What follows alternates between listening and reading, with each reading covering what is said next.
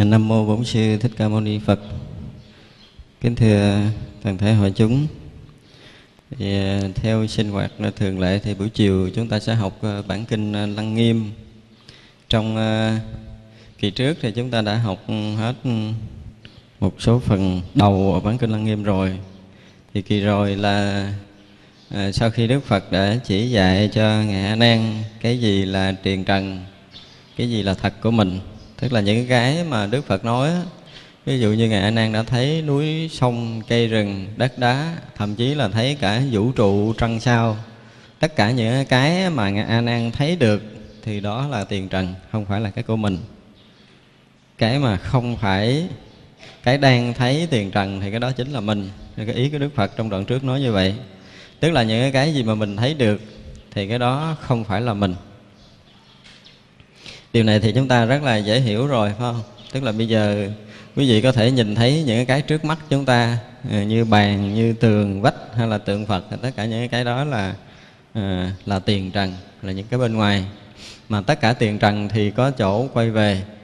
Ví dụ như đoạn trước đức phật có nói về ánh ờ, ánh sáng là do mặt trời, nhưng mà bóng tối là trả về hư không. Tức là có nghĩa là khi mà không có mặt trời, không có mặt trăng, không có đèn thì hư không này tự thành tối. Rồi ờ, tất cả những cái đều có chỗ quy về. Nhưng mà riêng cái thấy thì không có chỗ quy về. Đó là cái mà đức phật có chỉ ờ, đoạn thứ nhất, đoạn trước ở đây. Và kế đây thì đức phật nói là tất cả những cái mà chúng ta thấy trời đất, trăng, sao, vũ trụ, ngân hà, vân vân, thì những cái đó là tiền trần là cái bị mình thấy còn cái đang thấy là cái của mình đó là cái ý cái đoạn trước. Rồi đến đây á, ngài à, đức phật lại tiếp tục dạy ngài a nan, tính thấy của các vật xa gần tuy có sai khác, nhưng đều là vật do tính thấy trong sạch của ông mà xem thấy. Vậy các loại kia tự có sai khác mà tính thấy của ông thì không sai khác. Tính thấy sáng suốt nhiệm màu này quả thật là tính thấy của ông nếu tính thấy là vật thì ông cũng có thể thấy được cái thấy của tôi. Nếu khi đồng, tôi với ông đồng thấy sự vật mà gọi là thấy cái thấy của tôi, thì vậy khi tôi không thấy, sao ông không thấy chỗ không thấy của tôi? Nếu ông thấy được cái không thấy, thì tự nhiên nó không phải là tướng của cái không thấy kia. Nếu ông không thấy được chỗ không thấy của tôi, thì cái thấy bản nhiên không phải là vật, sao lại không phải là ông? Đoạn này chúng ta nghe đức phật lý luận. Bây giờ à, thứ nhất là đức phật đã dạy ngài a nan về cái à, tất cả những tiền trần thì không phải là tánh thấy của mình. Thì cái đang thấy có nghĩa là cái cái tánh thấy của ngài a nan. Đồng thời đức phật dạy thêm á thì những cái thấy xa gần dù cái xa dạng dậm như mặt trăng mặt trời chúng ta vẫn thấy được. Còn cái thấy gần như là tường vách bàn ghế gần chúng ta chúng ta thấy được thì những cái đó là những cái vật để cho chúng ta có thể thấy. Còn cái tánh thấy không phải là vật. Ví dụ như bây giờ cả hội chúng à, đức phật ví dụ là à, cái à, ngạ nan không thể thấy được tánh thấy của phật. Cũng như là cái à, tánh thấy của đức phật mà trong lúc đức phật không thấy thì mình không thấy được cái không thấy của đức phật. Cái này nó lộn cộng cộng khiến ta khó hiểu không? Bây giờ chúng ta nói một cách dễ hiểu nhất nè. Ví dụ bây giờ tất cả quý vị đều nhìn thấy à, trên bàn này có một chậu hoa tất cả trong hội chúng chúng ta đều thấy như vậy hết. Người ở đằng trước cũng thấy chậu qua người sau cũng thấy chậu qua bên phải cũng thấy, bên trái cũng thấy, thì tất cả chúng ta đồng nhìn về đây đồng thấy. Nhưng chúng ta chỉ thấy chậu qua thôi, chứ có người này thấy được cái thấy của người kia không? Không không? Tức là cái thấy của người này nó không có hiện trước mắt người kia. Và dù người kia có cố thấy cái thấy của người bên cạnh cũng không thể thấy được. Thì vậy là cái thấy chúng ta không phải là vật, mà cái bị chúng ta thấy cái đó mới là vật là cái ý đức phật đoạn này muốn chỉ như vậy. Cho nên nó là có lúc mà chúng ta thấy, thì huynh đệ chúng ta cũng thấy. Thì hai người chấp nhận là chúng ta thấy đồng một vật như nhau.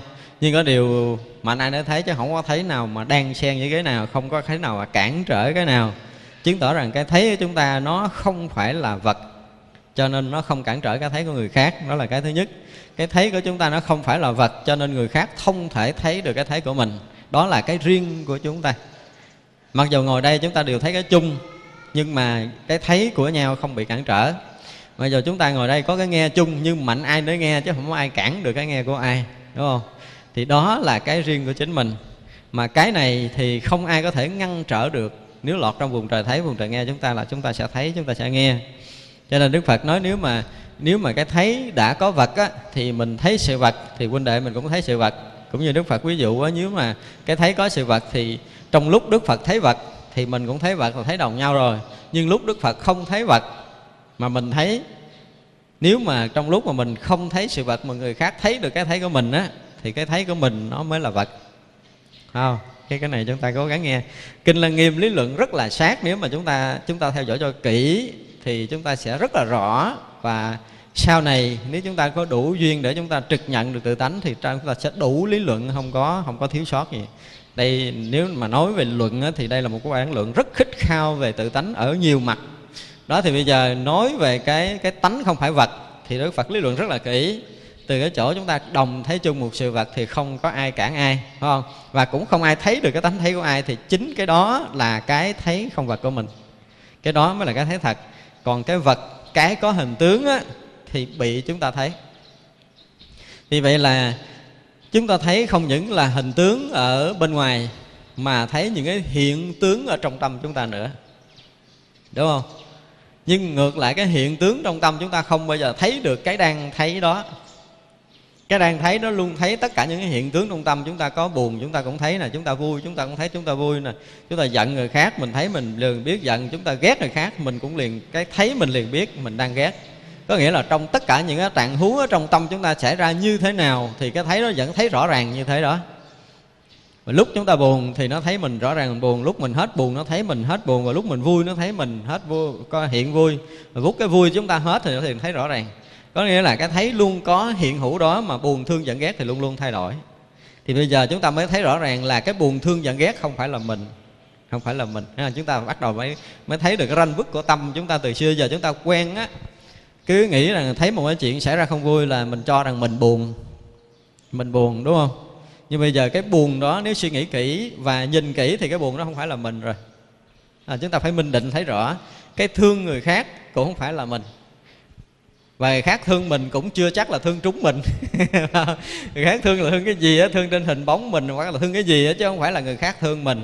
Người khác có ghét mình cũng không có đụng gì tới mình được nữa. Thành ra cái thương và cái ghét cho nó chỉ là cái gì ở bên ngoài nó chỉ là vật nó là vật ở bên ngoài.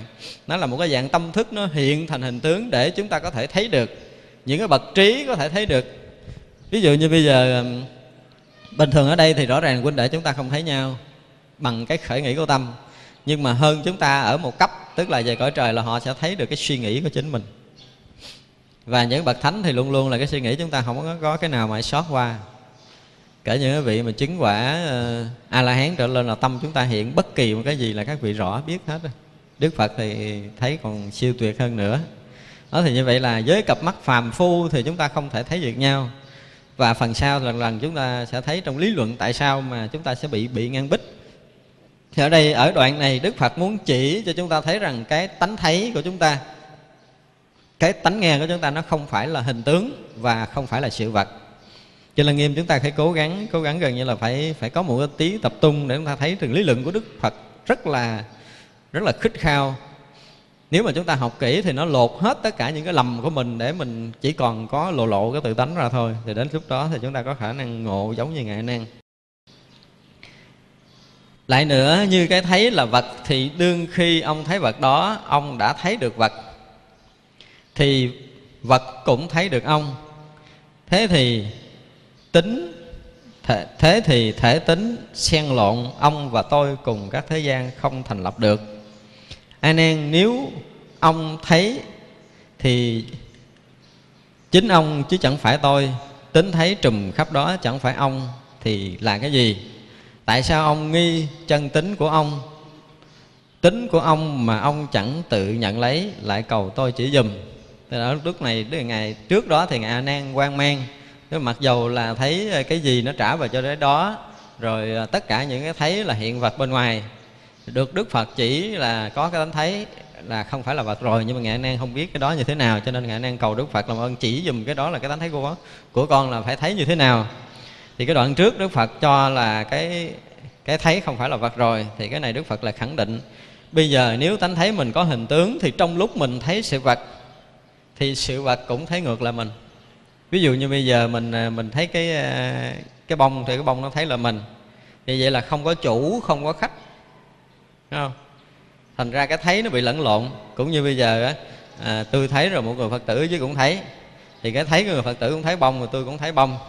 Rồi cái bông đó cũng thấy người phật tử và cái bông cũng thấy tôi. Thành ra là không có cái khoảng cách giữa chủ và khách một cách rất rõ ràng. Tức là cái người cái chủ đang thấy và cái vật bị thấy nó không có minh định không bình định thành ra nó có một cái sự lộn xộn với nhau. Tức là bây giờ thấy cái bông thì cuối cùng không biết ai thấy. Và cái bông thấy lại ngược mình thì vậy là cái chủ cái khách nó thấy lẫn lộn với nhau. Cho nên ở đây đức phật nói là nếu mà cái thấy của ông là vật á, thì ông vừa thấy vật thì vật cũng thấy ngược lại ông. Đó, cho nên là nó không có rõ ràng về cái thấy. Nhưng mà ngược lại là cái thấy mình nó không phải là vật cho nên khi mình thấy vật thì vật không thấy được mình. Tức là ví dụ như hai người hai người mà nhìn nhau thì giờ là cái à, một người a nhìn người b, thì a thấy được người b, thì thấy rõ ràng cái vị trí người b đang đứng đó. Và người b thấy ngược là người a là người người người a đang đứng ở vị trí nào. Thì vậy là cũng minh định chủ khách, tức là người thầy thấy người kia người kia thấy người nọ, nhưng mà ngược lại cái tánh thấy của hai bên là không thấy nhau. Này chỉ thấy bằng cái tánh thấy để mình thấy được người khác, và người khác cũng bằng tánh thấy mà người đó thấy lại ngược người này. Chứ không phải là do cái tánh thấy nó có hình tướng để nó bị thấy lẫn lộn ở đây đức phật khẳng định cái mà chúng ta đang thấy thì cái đó chính là mình. Mắt chúng ta thấy sự vật phải không? Sự vật thì không cách nào thấy ngược lại con mắt của mình. Thì những cái mà bị chúng ta thấy thì những cái đó không phải là con mắt. Vì là con mắt thì nó đang thấy. Thì cái đang thấy đó thì chính là mình. Đó là cái ý mà đức phật muốn nói đoạn này. Cho nên nếu mà, mà chúng ta học từ đầu tới đây á thì chúng ta bắt đầu tìm ra được một chút mình là ai rồi? Hơn chút mình là ai rồi? Tức là từ trước đến giờ là mà cái tâm chúng ta ở trong, tâm và ở ngoài, tâm chúng ta ở đoạn giữa này nọ kia là đều được Đức Phật bác bỏ hết rồi đó. Cho tới bây giờ Đức Phật bắt đầu lộ cái thấy biết ra. Tất cả những cái thấy biết này nọ kia đều không phải là mình hết rồi. Bây giờ chỉ còn cái đang thấy, đang nghe này chính là mình. Nhưng có một cái là từ đây, sao đức phật chỉ như cách nào đó và chúng ta khéo nghe như thế nào đó để chúng ta nhận cái mình đang hiện hữu ở đây thì tới đây đức phật đã đã khẳng định rằng cái đang thấy, đang nghe chính là mình rồi. A nan bạch phật rằng, bạch đức thế tôn, nếu tính thấy này nhất định là con chẳng phải là vật khác, thì khi con cùng đức như lai xem kho tàng bảo diện thù thắng của tứ thiên vương ở cung mặt trời, mặt trăng, cái thấy này trùm khắp cả cõi ta bà, lui về tỉnh xá chỉ thấy trong vườn chùa, đến khi thanh tâm nơi phòng trái thì chỉ thấy một cái cháy nhà, bạch đức thế tôn, cái thấy này như thế.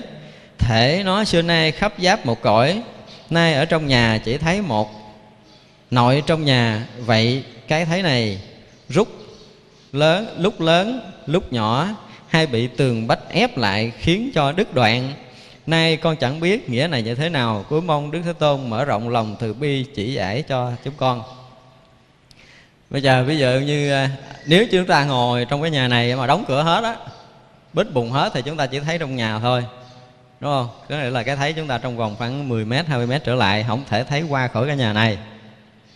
Nhưng mà nếu chúng ta bước vào ra ngoài hư không, chúng ta thấy tùm lum hết. Thấy chưa?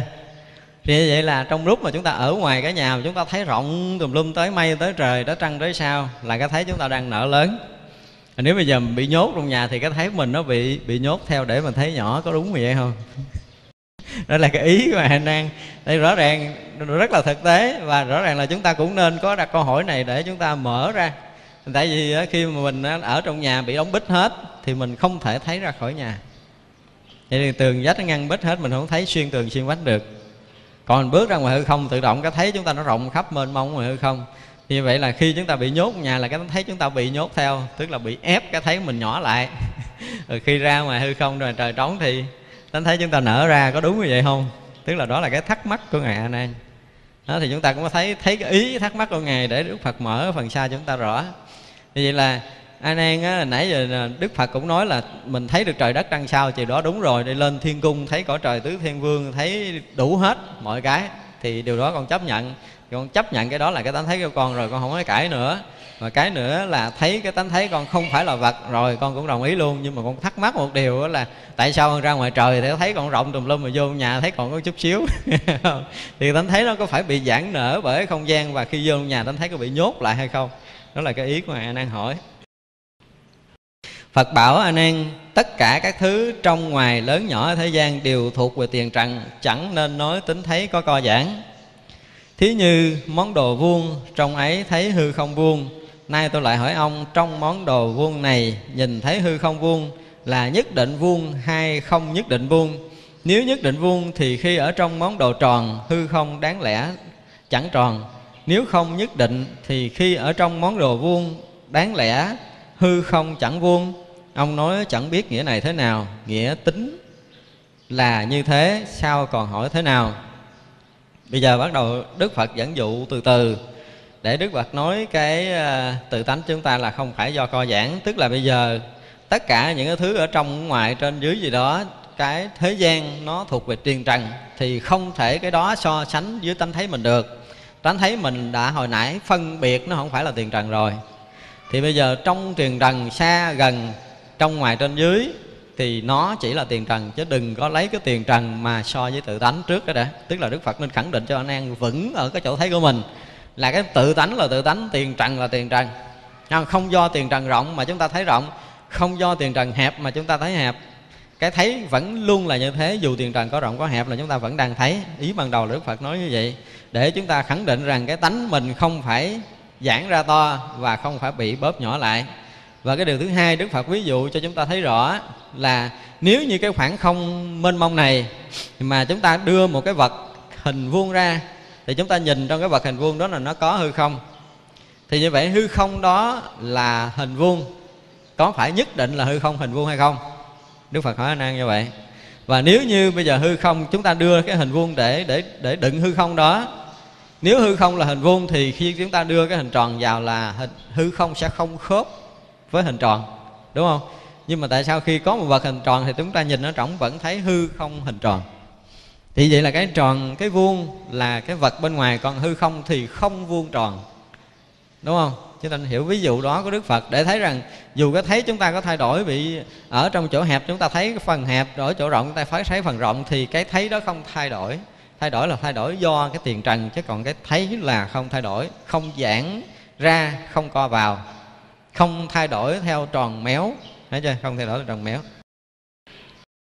À, A nan nếu muốn nhập được tính không vuông tròn, chỉ trừ bỏ cái vuông của đồ vật, thì biết thể hư không vốn không vuông, không nên nói phải bỏ cái tướng vuông của hư không.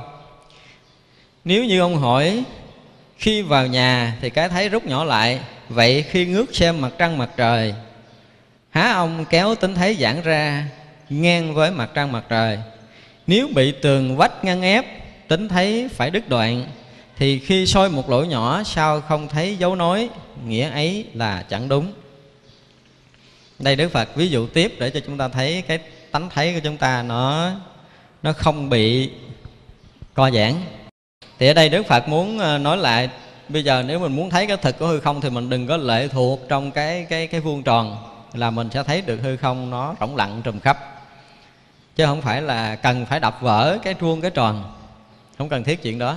Tại vì à, cái vuông nó nó có ra để nó nó nó dung chứa một cái cái khu biệt nhỏ của hư không hình vuông hoặc là hư không hình tròn thôi. Chứ cái vuông, cái tròn nó không có làm cái gì được cái hư không. Cho nên cái khoảng mà cái cái cái ranh á, giữa hư không và cái hình vuông á, nó chúng ta không thấy có cái cái dấu nói đúng không? Giống như bây giờ chúng ta đậy một cái hộp vuông, thì chúng ta sẽ thấy hư không hiện cái hình vuông đó, nhưng mà giữa cái khoảng hư không mà bị cắt bởi cái này á, có một dấu nói là hoàn toàn không có không có dấu nói vì lý do hư không đã nó trùm cả cái vuông và cái tròn đó. Cái vuông và cái tròn nó hiện trong hư không thôi, chứ không phải là vì cái vuông mà hư không thành vuông, vì cái tròn mà hư không thành tròn. Vì vậy là chúng ta chỉ cần muốn thấy được cái tánh không của hư không thì chúng ta chỉ cần không có không có chấp nhận, không có chấp trước cái vuông về cái tròn. Đó là cái ý đức phật muốn nói. Vì hư không vốn không phải là vuông, cũng không phải là tròn. Thì cái tánh thấy của chúng ta nó cũng không phải là giãn cũng không phải là co. Và ở đây đức phật chỉ tiếp là khi nào cái thấy, tức là khi mà ông ông thấy nhỏ lại trong nhà, và bây giờ ông ngửa lên ông nhìn thấy đằng sau á, thì cái thấy ông bị kéo giãn ra bằng tới đằng sau ha. nãy giờ anh an cứ tưởng tượng như vậy. Tức là thấy trong nhà cái tự nhiên cái nhỏ, cái cái tánh mình nó bị hút nhỏ lại. Còn nếu mà thấy mà trời cái cái tánh thấy mình tự động nó nở ra cho, kéo tới trăng sau để chúng ta thấy đằng sau. Thì vậy là cái thấy chúng ta luôn giãn nở, phải không? Cái khoảng cách gần chúng ta thấy gần, khoảng cách xa chúng ta thấy xa thì đó là cái thấy lầm. Thì ở đây đức phật có một cái ví dụ tiếp nữa. Thì bây giờ thử ở trong một cái bức tường ờ, bích hết, không có cái khoảng cách nào để chúng ta được thấy bên ngoài. Thì lúc đó bỗng dưng chúng ta khoan cái lỗ của tường, khoan cái lỗ lũng tường thì lúc đó là chúng ta sẽ thấy xa ra ngoài hư không, đúng không? Thì cái khoảng tường đó đó, và liên hệ tới hư không bên ngoài, chúng ta không thấy có một cái vết nối không thấy có vết nối nếu mà thực sự hư không ở các tánh thấy chúng ta mà nó bị bị vuông á, theo cái cái ngăn bích, thì giữa cái cái thấy nhỏ ở trong nhà này và cái lỗ trống để chúng ta có thể thấy được hư không, thì chỗ đó có một cái dấu nói lại. Dấu nói vậy. Hoặc là hoặc là trong trong lúc giờ chúng ta đóng cửa hết chỉ trường khoảng cửa sổ thì chúng ta sẽ thấy rõ hơn không thì bây giờ chúng ta nhìn chúng ta nhìn thử là cái thấy chúng ta đang ở trong cái chỗ tường bích này chúng ta mở một cửa sổ thì ở cái khoảng ngay cái khoảng cửa sổ ngay cái khoảng cách ở trong nhà và ở ngoài đó đó chúng ta có thấy là có một cái dấu nối giữa cái tự tánh chúng ta bị nhỏ bị lớn hay là chúng ta có thấy nó đều kéo dài hay là chỉ cần chúng ta mở cửa là nó đã thấy khắp rồi không? nếu mà chúng ta có một khoảng trống là cái thấy chúng ta đã khắp tới cái khoảng đó. Thì lý do là cái mắt phàm chúng ta không thấy xuyên tường vách, chứ không phải là cái thấy chúng ta nó nó nó bị co lại. Thì ở đây đức phật ví dụ là nếu chúng ta khoan vách khoan vách một lỗ trống, thì không thấy cái khoảng đứt đoạn của cái thấy của mình. Mà chúng ta vẫn thấy xuyên suốt của hư không trong lúc mà khi có một cái lỗ trống xuyên qua bốn bức tường. Cho nên ở đây nếu mà đức phật nói là nếu mà soi một lỗi nhỏ thì không có dấu nói và cái nghĩa mà nói cả là cái cái tự tánh chúng ta giảng nở là cái đó không đúng rồi. À, tất cả chúng sinh từ vô thủy đến nay mê mình làm vật bỏ mất bản tâm bị vật soi chuyển nên ở trong ấy lại xem có lớn có nhỏ. Nếu hai chuyển được vật tức đồng như lai thân tâm tròn sáng chẳng rời nơi đạo tràng trên đầu một mãi long có thể chứa đựng được mười phương cõi nước. Tức là ở chỗ này đức phật là nói tiếp chúng ta từ xưa tới giờ á, là đã lấy vật làm mình quen rồi. Ví dụ như bây giờ mình à, để cái à, cái cái bàn cái bình bông ở đây thì kêu mình nhìn lên hỏi mình thấy cái gì không? Cái mình nói mình thấy. Hỏi thấy cái gì nữa mình thấy bình bông nhưng mà khi mình dẹp bình bông ra rồi hỏi thấy không nó thấy không chúng ta trả lời sao? Ví dụ như không có bình bông đây rồi hỏi giờ quý vị có thấy không? Quý vị trả lời sao? Nó trả lời là không thấy phải không? Không thấy. Đó, chúng ta hồi xưa giờ quen theo vật như vậy đó. Tức là giờ có cái hiện tướng bên ngoài hỏi thấy gì thì chúng ta trả lời là thấy cái đó liền. Và khi chúng ta dẹp mất cái đó hỏi thấy không cái mình nói mình không thấy. Trả lời đúng nhất là chúng ta phải trả lời sao? Chúng ta thấy không có cái vật đó không? Ví dụ như bây giờ nãy giờ mình thấy cái bình bông. Bây giờ hỏi ờ, có thấy không? Cái mình nói thấy Thấy không có bình bông, Chứ không phải là không thấy. Có nghĩa là nếu mà chúng ta ở đứng vững ở vị trí của mình thì mình không bao giờ trả lời là không thấy, tại vì cái vật thì có thể thay đổi mà cái thấy chúng ta thì nó thường hằng. Nên là cái thường hằng, cái thường hay thấy của mình là thấy có vật và thấy không vật. Vật thì có lúc được hiện ra và có lúc nó bị mất đi còn cái thấy chúng ta là luôn luôn thường hằng, cho nên ở đây đức phật nói là chúng ta từ xưa giờ đã quên mình theo vật rồi, cho nên bỏ mất cái chân tâm sẵn có của chúng ta, vì vậy mà bị xoay chuyển. Chứ còn cái tự tánh chúng ta là không thay đổi, không lớn và cũng không nhỏ. Nếu mà chúng ta hai chuyển được vật thì đồng với như lai. Cái hai chuyển được vật của chúng ta nó có nhiều nghĩa, giống như hồi nãy thì bây giờ cái cảnh vật là có xuất hiện và có mất đi như cái thấy chúng ta là vẫn thường hằng đó là cái thứ nhất. Cái thứ hai là nếu chúng ta là cái người hay xoay chuyển được vật á, thì khi chúng ta thấy sự vật là chúng ta thấy vật hay sao? Ai ai trả lời câu làm sao mà để chúng ta thấy mà chúng ta chuyển được vật? Ví dụ khi chúng ta đang nghe thì chúng ta là người nghe âm thanh phải không? Chỉ có mình và có âm thanh đang hiện ở đó thì chúng ta nghe thì vậy là nếu chúng ta đang nghe âm thanh như vậy hoặc là chúng ta đang thấy hình sắc như vậy thì thấy như thế nào gọi là chuyển vật? Ở đây là chỗ mà chúng ta biết nếu mà chúng ta thấy mà chúng ta chuyển được vật là chúng ta đồng với như lai không khác. À, có một xíu thôi tức là đức phật với chúng ta không khác ở chỗ này. Không khác ở chỗ này. Chúng ta thấy làm sao mà chuyển được vật á? Thấy sao chuyển được vật? chúng ta nghe sao mà chúng ta chuyển được vật á? Thì lúc này chúng ta là như lai lòng không khác. Ở đây đức phật nói là nếu mà ừ, hay chuyển được vật tức đồng với như lai, thân tâm tròn sáng chẳng rời nơi đạo tràng. Tức là chỗ chỗ nơi nơi đều hiện đạo tràng cả. Nếu mà chúng ta thấy mà chúng ta chuyển được vật thấy sao chuyển được vật có ai nói thiện câu nghe đây là chỗ rất cần cho chúng ta nên để ý cái này tại vì à, chúng ta học đạo à, chúng ta cố gắng là hay ra được sự thật tại chỗ đừng có để đừng có để cho nó nó nó, nó luống qua rất là uổng. Chúng ta cố gắng là đừng có ờ, đừng có đem cái hiểu vào đây để chúng ta hiểu. Và cố gắng nghe nơi trực tiếp này và chúng ta sống ở ngay tại đây luôn. Chúng ta tiếp nhận sự thật ở ngay tại chỗ này đừng để cho nó trôi qua. Vì vậy là chúng ta mới có thể nhận được ý kinh chứ còn học kinh mà để chờ đợi hiểu mà dụng công là không cách nào chúng ta hiểu nổi kinh điển đại thừa. Cho nên tất cả những cái lời ở trong kinh lăng nghiêm là những cái sự chỉ dẫn phải là uh, dùng bản đồ thì nó còn xa lắm. Nó giống như là một sự o ép để chúng ta đi đúng con đường. Tức là đức phật giống như dùng tay để để để đẩy chúng ta bước phục vào đạo lý vậy thì tất cả những cái mà lý luận của đức phật khiến cho chúng ta từng bước một từng bước một. Rồi tất cả những cái không cần thiết và chỉ còn hiện hữu cái sự thật thôi. Do đó mà chúng ta phải cố gắng một lần cho trong đời mình thấy mà chuyển được vật. Chứ đừng bao giờ thấy bị vật chuyển nữa. Thấy bị vật chuyển. Mà chúng ta từ xưa giờ quen là thấy một cái là bị vật chuyển. Bây giờ làm sao chúng ta thấy mà chuyển được vật? Đây là cái quan trọng. À, thấy thì sao chuyển được mặt đừng có để cho nó qua mất chuyện này. À, chuyện này là chuyện hết sức quan trọng. Chúng ta nếu mà thực sự nghiêm túc thấy nghe ngay tại chỗ này á quý vị thử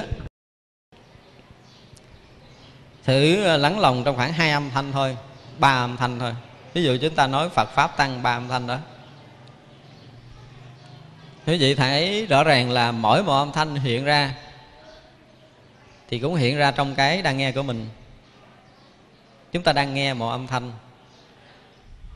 Và có một cái khoảng trống giữa cái âm thanh thứ nhất và âm thanh thứ hai chúng ta cũng đang nghe đó. Nếu mà nhạy chút là chúng ta sẽ thấy được cái khoảng cách này. Thì cái khoảng không có âm thanh, khoảng không có âm thanh vẫn có cái đang nghe của mình. Và âm thanh kế tiếp chúng ta vẫn nghe nữa và có một cái khoảng không âm thanh chúng ta vẫn nghe. Nếu mà thật sự cái cái âm thanh nó trở thành một cái tiếng liền luôn á, thì chúng ta không thấy cái nghĩa gì. Do có khoảng cách giữa hai âm thanh, chúng ta mới thấy được ý nghĩa của từng câu nói. Và như vậy là khi âm thanh hiện lên, âm thanh lặn xuống, hiện lên, lặn xuống, hiện lên, lặn xuống, là cái thấy chúng ta có bị hiện lên, lặn xuống theo âm thanh không? Nó vẫn nguyên là như vậy, vẫn nguyên không thay đổi nha. Không bị dao động, không bị thay đổi. Ví dụ như bây giờ đang nín thì nó cũng vẫn nghe cái không âm thanh đó.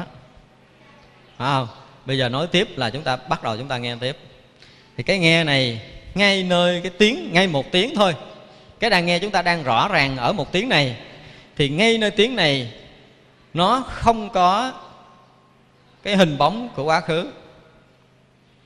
Và nó cũng không có cái hình bóng của tương lai. Nó chỉ là cái đang nghe rõ ràng nơi hiện hữu đó thì nó không có bóng dáng của quá khứ và tương lai. Và cái khoảng không hiện ra thì nó đang rõ ràng nơi hiện hữu khoảng không. Và cái hiện hữu khoảng không đó cũng không có quá khứ và tương lai nữa. Tức là cái nghe nó đang vượt không gian và thời gian. Chúng ta nên là để ý điều này.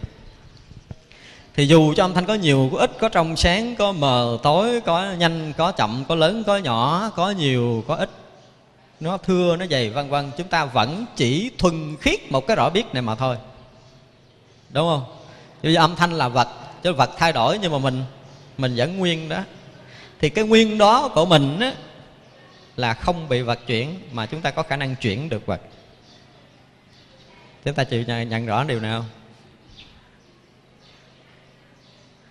hãy cố gắng là ở đây có thể là chúng ta dùng bằng cái cái cái trí mà mà dao động chúng ta để chúng ta nhận biết sự việc.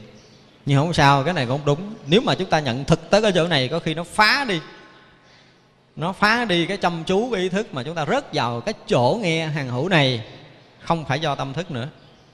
Nhưng mà ít ra chúng ta phải nhận rõ điều này trước cái đó. Luôn luôn tất cả mọi dương cảnh bị dao động, nó còn nó mất, nó hiện, nó mất liền. Tiếng có, tiếng không, tiếng có, tiếng không, tiếng có không liên tục liên tục liên tục như vậy, nhưng mà ta vẫn nghe mặc dù nói thật nhanh chúng ta cũng phát hiện được khoảng giữa của hai âm thanh đó. Người nào nghe được tới cái khoảng giữa của hai âm thanh thì người đó sẽ nghe được hết tất cả những điều cần nghe. Và nghe được khoảng giữa hai âm thanh đó tức là chúng ta nghe đến được sự thật. Còn nghe âm thanh không là không đến sự thật đâu. À, chúng ta phải nghe được hai cái một lượt. Có âm thanh đang hiện và cái khoảng trống giữa âm thanh này và âm thanh thứ hai chúng ta vẫn nghe mà. Nhưng mà cái đó đang mờ với mình để ý từ xưa giờ cái chỗ này nó đang mờ. Khi nào mà khoảng trống giữa hai âm thanh nó rõ ràng, y như âm thanh đang hiện, có nghĩa là cái âm thanh đang hiện gì và cái phản ngắt giữa cái âm thanh thứ nhất và âm thanh thứ hai nó đang hiện cũng rất rõ với mình ngay tại chỗ này. Thì chúng ta nghe được nghe được hai mặt của vấn đề, có và không liền. Và khi một người có mặt hiện hữu ở nơi có và không, từng sát na một thì người đó không phải là nghe chuyện hồi nãy và bây giờ nghe chuyện bây giờ. Mà mỗi âm thanh đều được chúng ta nghe rõ ràng ngay tại đó. Phải không? Âm thanh đó là nghe, ngay tại đó, ngay tại phút giây này. Ngay tại đây không có trước, không có sau. Vừa hiện âm thanh là vừa rõ ràng. Và âm thanh mất là rõ ràng ở cái chỗ hiện không âm thanh. Và âm thanh kế tiếp là chúng ta rõ ràng nơi âm thanh đang hiện. Và kế tiếp là một khoảng không thì khoảng không đó là chỗ đó, ngay nơi đó chúng ta đang hiện rõ ràng để rõ biết cái không âm thanh. Và cái này không lệ thuộc cái tiếng thứ nhất, cũng không lệ thuộc tiếng thứ ba, mà ở ngay tại đây, ở ngay tại đây. Và bây giờ, mỗi mỗi điều hiện hữu như thế, thì chúng ta chỉ là cái người luôn luôn hiện hữu như vậy, nhưng mà chúng ta không nhận được mình đang ở tại đây, khiến cho chúng ta nghe, bắt đầu chúng ta rớt đi đâu á không, nếu mà chúng ta nghe như nói hồi nãy giờ, thì từng âm thanh một, từng cái khoảng ngắt một là chúng ta đang hiện rõ ràng ngay tại đó, chứ chúng ta không khác hơn. Không thêm được, cũng không bớt được. Ví dụ chúng tôi nói tiếng phật là chỉ ngay tại đó thôi. Quý vị chỉ rõ tiếng phật, chứ tiếng phật không có thêm thêm dư dư cái râu râu nào nữa hết á. Đúng không? Và cái khoảng không phật đó hiện ra thì nó cũng không có dư cái râu nào hết á. Và tiếng pháp kế nó hiện ra thì nó cũng nguyên như vậy, nó đang hiện hữu rõ ràng như vậy chúng ta không thể thêm được, chúng ta không thể bớt được. Không thể làm cho nó sạch, không phải làm cho nó nhơ được. Chỗ này là không thêm, không bớt, không sạch, không nhơ, không tăng, không giảm. Nếu chúng ta khéo nhận chỗ này, thì đây mới là cái chỗ mà phật tổ muốn chỉ chúng ta. Thấy như vậy thì coi như chúng ta đã thấy biết chuyển được vật. Thì mặt lý luận là chúng ta phải phải nhận biết được tới cái chỗ này trước rồi đã thì chỗ này là cái chỗ mà chư Phật cần chỉ chúng ta. Và tất cả những người tu đều phải nhận được cái chỗ chân thật này.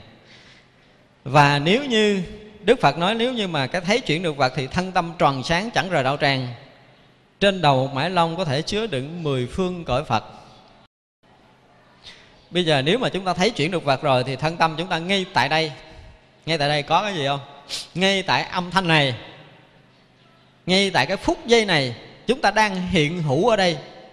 Đều là trong sáng rõ ràng. Nếu chúng ta thực sự mà buông hết cả mọi cái, Chúng ta đang hiện hữu để rõ biết, Thì bây giờ chúng ta chỉ thuần là có rõ biết Mà không có thân tâm. Không phải là lỗ tai chúng ta nghe nữa. Chúng ta thử lắng để buông luôn cái nghe của lỗ tai mình ở ngay tại đây đi. Và đừng có thèm chú ý gì tới lỗ tai hết. Đừng có thèm chú ý gì tới thân tâm này nữa và đừng có có lắng lòng, đừng có chú tâm nữa. Thì bao nhiêu âm thanh nói ra chúng ta nghe không? Bao nhiêu chúng ta buông cái thân này ra đi. Đừng có quan trọng gì tới cái thân đang nghe này nữa hết á. Thì chúng ta còn nghe không? Cái này nó có mang cái màu sắc buồn, thương giận ghét gì trong đó không? Cái này nó có ai có thể che chắn được nó không? Và cái này không bao giờ thay đổi bởi thời gian tức là ngay tại đây không có thời gian và không có không gian. Và cứ mãi mãi con người nếu sống đúng như vậy là mãi mãi sống trong cái khoảng không thời gian, không không gian. Và nếu sống không thời gian, không không gian thì mỗi lúc đều mới mới mới mới mới mới mới mới mới đều tươi nhuận suốt cuộc đời còn lại của mình. Mình hoàn toàn không có cái gì qua, không có cái gì trước và không có cái gì sau. Ngay tại đây và bây giờ và lúc nào cũng ngay tại đây và bây giờ rõ ràng trong sáng hiện hữu không bị khuất mất. Chúng ta phải thấy, nhận được cái thấy này đây là chỗ mà chư Phật muốn chỉ chúng ta. Cho nên tới chỗ này chúng ta phải khéo một chút. Cứ nghe vậy thôi. Đừng có đừng có gì hết. Và đây là cái điều mà chúng ta chỉ mới chấp nhận gật đầu. Chúng ta chưa nghe được. Mặc dù mà chúng ta chấp nhận gật đầu để chúng ta có một cái cái cái cái hướng định cho cái công phu của mình. Giờ này thì nếu thực sự là chúng ta nghe được cái nghe này là nó mất thân tâm liền nha chúng ta ở một cái chỗ mà rõ ràng không có thân tâm, mà rõ ràng mọi vật. Thì lúc này cái âm thanh không phải nghe đơn giản là một tiếng chúng tôi đang nói, mà quý vị sẽ nghe khắp đó, tiếng trước, tiếng sau, trong ngoài tiếng chim nhỏ, tiếng lớn trước, tiếng sau, đều nghe rõ ràng tiếng ồ ồ, tiếng âm thanh gì. Bất kỳ cái gì nó hiện trong lúc này, chúng ta đều nghe như như nhau. Nghe không khác. Đúng không? Cái nghe âm thanh chúng ta đang nói và cái nghe tiếng chim nó có khác không? Hoàn toàn không khác. Không? Gần cũng nghe như vậy mà, xa cũng nghe như vậy, ở trước cũng nghe như vậy, ở sau chúng ta cũng nghe như vậy. Và chung quanh chúng ta có bao nhiêu âm thanh, chúng ta đều rõ biết một lượt. Chứ này trả lời câu hỏi hôm trước rồi đó.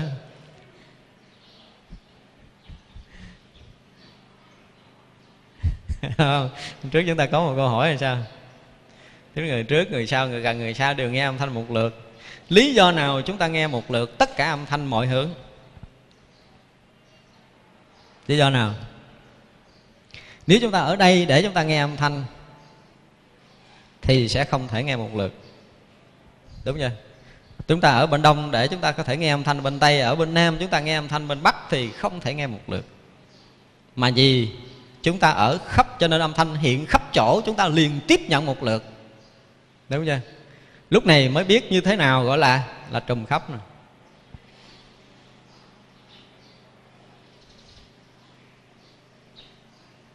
Chỗ này chúng ta cố gắng làm sao mà thể nhận được. Chúng ta phải lắng lòng thực sự để chúng ta nghe được một âm thanh cho tận cùng của nó. Và nghe cái kế âm thanh. Kế âm thanh đó là cái gì? Là không phải là âm thanh thứ hai mà khoảng trống giữa hai âm thanh đó. Chúng ta phải nghe rõ. Cho nên nữa nhiều khi là chúng ta đi ngồi nghe nhạc thì chúng ta nghe bản nhạc, nghe lời nhạc. Chứ không bao giờ chúng ta nghe cái phản ngắt của hai cái âm nhạc đúng không? Nhưng mà nếu không có phản ngắt của hai âm nhạc, chúng ta tưởng tượng bản nhạc nó hay không? Hay cỡ nào nó cũng phải có phản ngắt của nó. Thì là phản ngắt của nó nó hoàn toàn có ý nghĩa, nó có ý nghĩa tương đương với cái lời nhạc. Thì như vậy là cái âm thanh và cái khoảng không âm thanh có ý nghĩa giá trị tương đương nhau. Mà bây giờ chúng ta chưa thấy được cái giá trị tương đương này, tức là chúng ta chưa thấy sự thật. Cái gì có khi nào mà nghe cái phản không này rõ ràng như chúng ta nghe âm thanh không? Nghe được chưa? Nghe được chưa? Phải nghe cho được. Chúng ta phải nghe cho được cái đó tại đây. Thì mọi chuyện nó sẽ bùng vỡ ra liền. Đừng bây giờ nghe để ghi nhận âm thanh theo cái kiểu từ trước đến giờ, đúng không? Nghe âm thanh là nghe như vậy. Chúng ta chỉ thuần là cái đang nghe, đang rõ biết âm thanh và không âm thanh hiện hữu từng từng từng từng sát na từng sát na từng sát na một như vậy. Chúng ta không thể nhanh nhẹn để nghe tiếng nói nhanh đâu. Ví dụ nghe tăng tăng tăng tăng, tăng liên tục như vậy thì không phải là cái nghe chúng ta chạy theo âm thanh đó. Mà vì cái nghe chúng ta đã đã phủ khắp rồi cho nên bao nhiêu âm thanh tới đều được rõ. Dù nó nhanh cỡ nào chúng ta cũng rõ tại vì nó nhanh cái tốc độ nhanh của nó không có vượt qua ngoài cái tánh nghe của mình. Cho nên dù nó nhanh cỡ nào nữa ví dụ như súng bắn hàng loạt chúng ta nghe từng tiếng một bum bum bum bum bum bum thì cứ nghĩ rằng là cái nghe mình nó chạy theo cái đó nhưng mà không phải. Cái nghe mình đang trùm phủ nó. Cho nên hiện trong đó bao nhiêu điều rõ biết bao nhiêu. Chúng ta đã thấy rõ rõ điều này. Nên lúc nào chúng ta cũng là người phủ trùm. Cho nên bao nhiêu âm thanh nó hiện là hiện trong cái trùm phủ của mình. Chứ không phải là mình đi nghe. Thì lúc mà chúng ta trùm phủ thì không phải là thân này, cũng không phải là trăm này cái trùm phủ đó không phải là thân, là tâm đâu. Chúng ta buông thân mạng này ra thì cái đó lại càng rõ thêm nữa. Còn chú tâm nghe bằng lỗ tai thì cái đó nó lại bị mù đi. Nó qua căng à qua căng thì giống như căng là nghe trần. Nhưng mà không phải, chúng ta đang đang phủ trùm đây để rõ mọi cái. Đang phủ trùm đây để rõ mọi cái. Thì mọi cái đang hiện trong cái phủ trùm của chính mình. Đang hiện trong cái rõ biết trùm khắp của chính mình. Thì dù nó hiện kiểu nào, mình cũng rõ nó kiểu đó và mình là cái người đang rõ đó. Thân đang được mình rõ biết nè.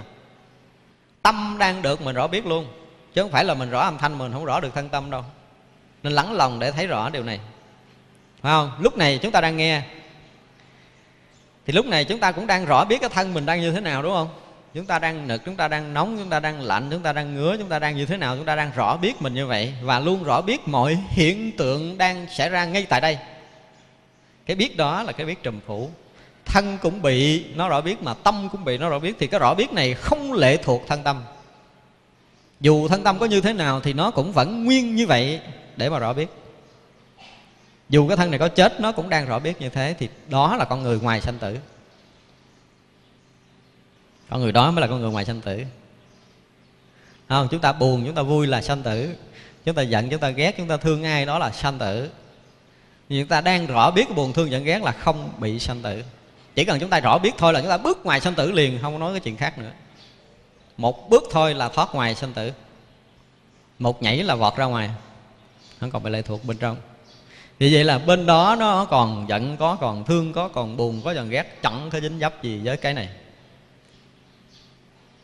Và tự động buồn thương giận ghét tắt mất liền tại chỗ đó. Nói thì nói vậy á, mình nói là còn buồn, còn thương, còn giận ghét, thực sự nó tắt mất nếu chúng ta ở cảnh giới này, thì mọi cái tự mất đi, mọi cái nó tự mất đi mà không cần phải dẹp nữa. Cực lắm. Tự mà hơn thua từng dòng tưởng một để cho nó sạch, rất là cực. Làm chuyện nó cực quá đi. Chỉ cần một nhảy nhẹ thôi, nhảy nhẹ thôi, một lách mình thôi lách mình thôi, là hư không này chúng ta bước ra ngoài.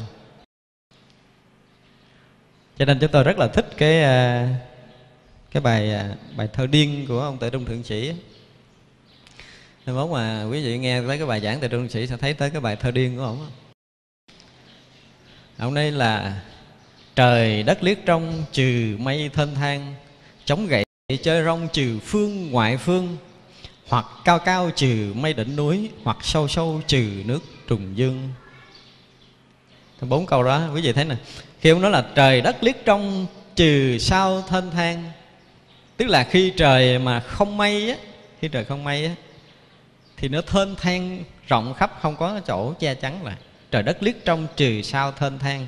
Nghĩa là nơi tâm chúng ta không có một gợn mê tình nào thì chúng ta lại phủ trùm khắp khắp giới rồi. Chống gậy chơi rong trừ phương ngoại phương. Chúng ta có mấy phương? Mười phương phải không?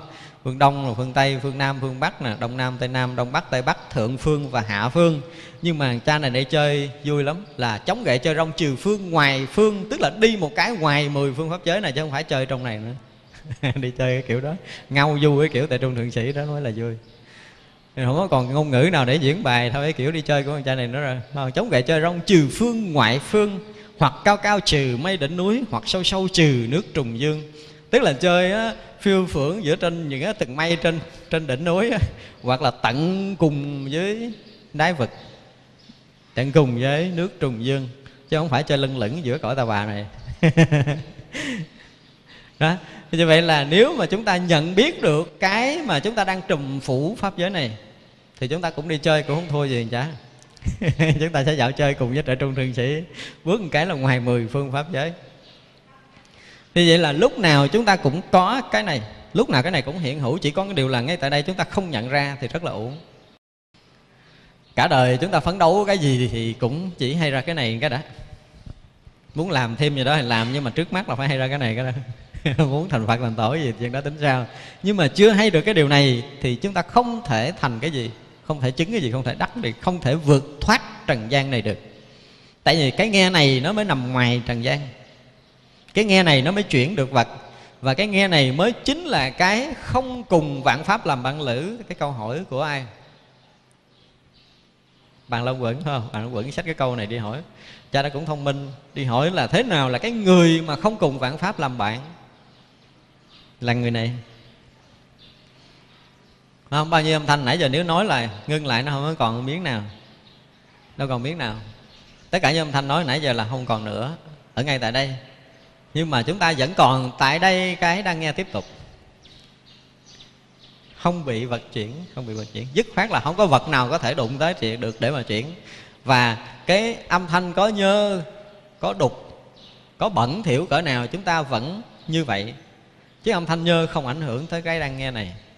Và âm thanh có trong sáng cỡ nào, nó cũng vẫn nguyên là như vậy. Nó cũng không thay đổi bởi âm thanh tốt và không bị xoay chuyển bởi âm thanh xấu nó có đúng cỡ nào thì nó vẫn nguyên như vậy để rõ biết. Có sai cỡ nào, nó vẫn nguyên như vậy để rõ biết, cho nó không có cần trí, không cần ngu, không cần giàu, không cần nghèo, không cần hay, không cần dở. Vượt thoát tất cả cái này, nó vẫn đang rõ ràng.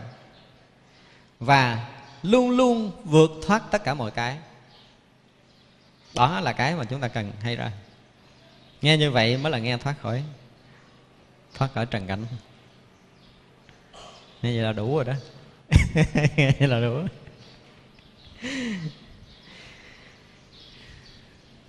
A nan bạch phật rằng, bạch đức thế tôn, nếu tính thấy này, nhất định là tính nhiệm màu của con, thì cái diệu tính đó phải hiện ở trước mắt con. Cái thấy đó hẳn thật là con, vậy thân tâm con hiện nay là vật gì? Nhưng hiện nay thân tâm con thật có phân biệt, còn cái thấy kia không phân biệt được thân con. Nếu thật là tâm con khiến cho con hiện nay có thấy, vậy tánh thấy ấy thật là con, còn thân tâm này không phải con thì khác nào trước kia đức như lai gạn hỏi, vật hai thấy được con, cuối mong đấng đại từ chỉ bài cho chỗ chưa ngộ. Dạ, giờ năng sanh nghi nữa. Dạ, sanh năng nghi á, là bây giờ nếu tánh thấy này là mình rồi, bây giờ mình chấp nhận mình có cái tánh thấy này rồi, thì cái tánh thấy này nó cũng không phải là thân này và nó cũng không phải là tâm này. Nó đang hiện ra trước mắt để nó thấy mọi cái. Thì cái thấy đó đã thật mình rồi, chỉ là thân tâm hiện nay là cái vật gì? Thân tâm mà đang phân biệt đúng sai hay dở, buồn thương, giận ghét, nó là cái vật gì? A nan rất là thực tế, phải không? Và rõ ràng chúng ta cũng nên thực tế như vậy với a nan dùm bây giờ nãy giờ nói nói nói qua nói lại, nếu chúng ta chấp nhận mình có cái tánh thấy này rồi, đúng không? Thì không phải là thân tâm này. Chấp nhận tánh thấy không phải là thân tâm này. Thì bây giờ hiện nay thân tâm con đang thật có phân biệt nè, có buồn, thương, giận ghét nè. Thì cái thấy không phân biệt được thân con. Đấy là, là một cái hiểu lầm ngài nói là cái thấy không phân biệt được thân thì không phải rồi. Cái thấy này luôn phân biệt được trong thân từng sát na một mà ngài chưa có nhận ra hết. Nếu thật là tâm con khiến cho con hiện nay có cái thấy vậy tính thấy ấy thật là con còn thân này không phải là con. Tức là bây giờ ngài lý luận là cái cái thấy là thật mình còn cái thân này không phải là mình thì như vậy là là cái thấy này là vật hay thấy được mình tức là có một cái gì hay thấy được mình. Đúng không? Nghĩa là bây giờ cái cái thấy này nó đang phân biệt cái thân này, cái thấy này nó đang phân biệt cái tâm này. Trong khi ờ, trước giờ là mình quen là cái thân này đang phân biệt hoặc là cái tâm này đang phân biệt. Bây giờ anh đang bị lật lộn rồi. Bị lộn mèo rồi. Tức là trước giờ mình nói là cái thân này thấy hoặc là cái tâm này thấy thôi, đúng không? Mình đang thấy nè, mình đang nghe nè, mình đang phân biệt, mình đang buồn, thương, giận, ghét là thân tâm này bây giờ đức phật nói thân tâm này không phải là mình, mà cái thấy mới chính là mình. Mà rõ ràng bây giờ cái thấy đang phân biệt cái thân và cái thấy đang phân biệt cái tâm. Cái thân đang như thế nào, cái thấy đang rõ biết. Cái tâm đang như thế nào, cái thấy rõ biết. Thì vậy là cái cái vật hai thấy là được là con hay không? Anh đang cho rằng cái hai thấy đó là vật. Hồi nãy đức phật đã bác rồi, nhưng mà ngài bây giờ trở lộn gọi là ngài cho cái thấy đó là, cái hai thấy đó là vật. Thì vậy là cái vật đó nó thấy tức là mình có một cái đang phân biệt thân tâm mình, thì cái vật bên ngoài nó có phân biệt hay không? Cuối mong đấng đại từ từ bi chỉ dạy, tức là một cái rút mắt mà thấy hơi bị mù tối trở lại của a nan. Thay vì cái thấy rõ biết hồi nãy giờ, nó trong sáng rõ ràng. Đồng với chư phật mười phương, cái thấy vượt không gian, vượt thời gian hồi nãy giờ, nếu chúng ta chấp nhận, mà chúng ta nhận cái đó rồi thì thân tâm này đang bị nó phân biệt. Và dù chúng ta không nhận thì nó cũng đang phân biệt thân tâm của mình. Lúc nào nó cũng rõ biết thân tâm của mình, chứ không có lúc nào tắt mất hết thì vậy là rút rào thân tâm của chúng ta đang bị một cái gì đó hay biết, từng sát na một, đừng nghĩ là chúng ta không biết. Biết hết á. Nên cái là chúng ta đang mê mẩn ở nơi tâm mình đang như thế này thế kia là chúng ta chấp nhận ở cái chỗ đang phân biệt ở dưới này thôi. Chứ còn chúng ta luôn luôn bị rõ biết, luôn luôn rõ biết thân tâm chứ không lúc nào không biết.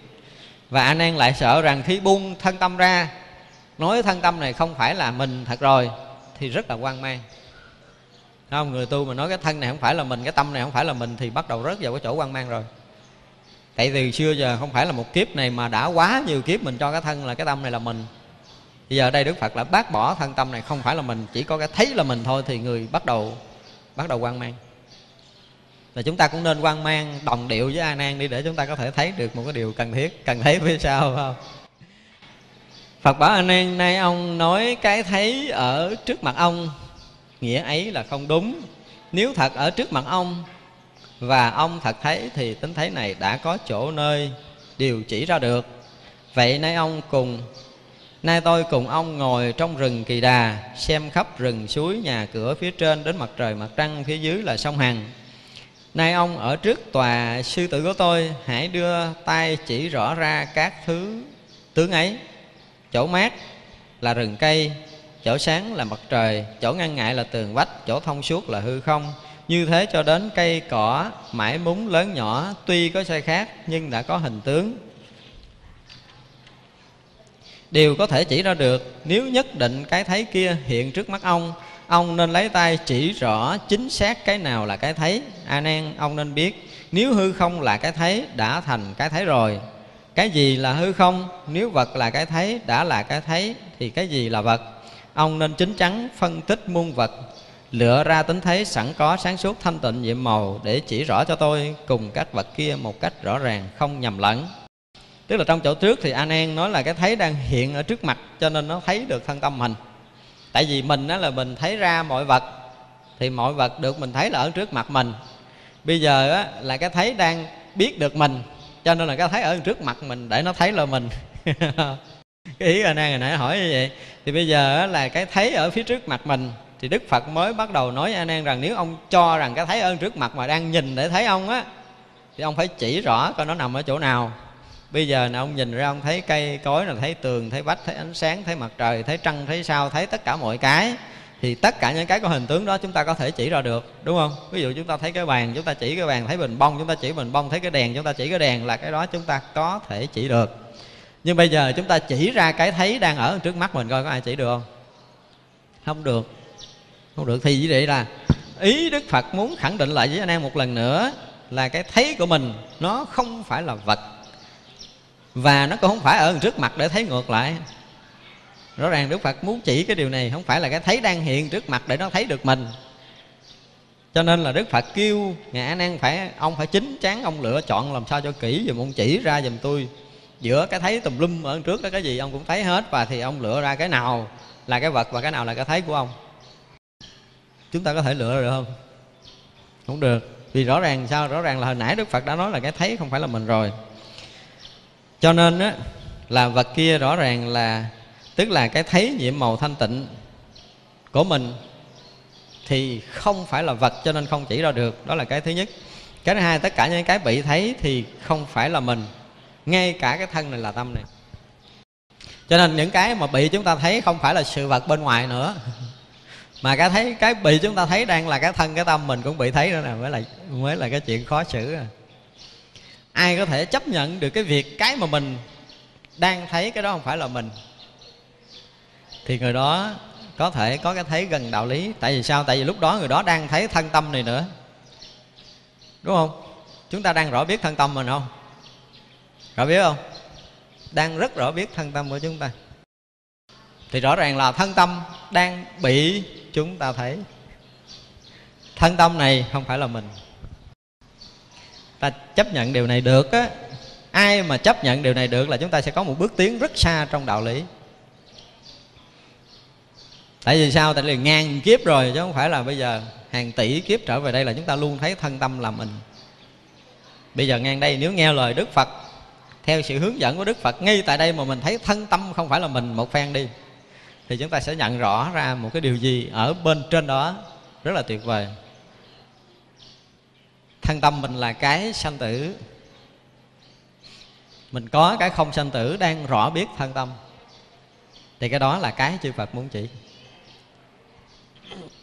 Anh an thưa nay con ở trong giảng đường này, nhìn xa thì thấy sông hằng, trên thì thấy mặt trời mặt trăng, đưa ngón tay chỉ ra dẫu cùng, dùng mắt nhìn xem chỗ chỉ ra được đều là vật, không phải là cái thấy.